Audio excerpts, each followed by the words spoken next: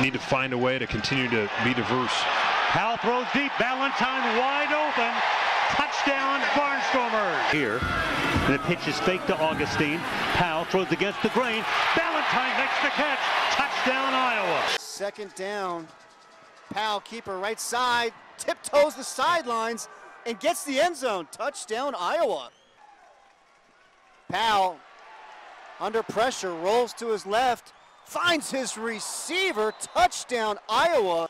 Powell drops back in the end zone, gets out of the pocket, fires down the field, has his receiver.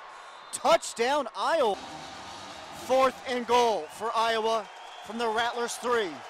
Powell in shotgun.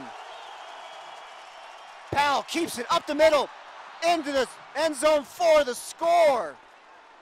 Iowa going for the two-point conversion and the win. Powell up top. Iowa wins.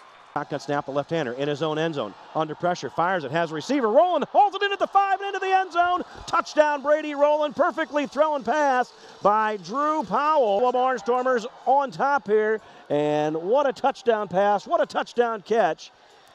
And that will be the ninth touchdown for Brady Roland. Him in motion, takes it, fakes left, goes to the end zone, has a receiver in one-handed grab by Brady Roland. No, that's Ryan Valentine. A one-handed Spider-Man grab. 34-20 they lead. Powell takes it, drops, looks, under pressure, flushed out of the pocket, looking, looking, fires against Green, has a man wide open. Valentine, touchdown!